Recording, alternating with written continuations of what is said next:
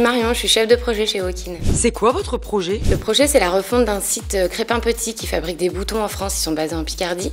Et l'objectif, c'était d'améliorer l'expérience utilisateur en mettant en place un catalogue et la demande d'échantillons en ligne. Quelles sont les actions mises en place? On a d'abord fait une analyse de l'existant et des axes d'amélioration d'un point de vue utilisateur, puis les cibles, leur définition et les wireframes.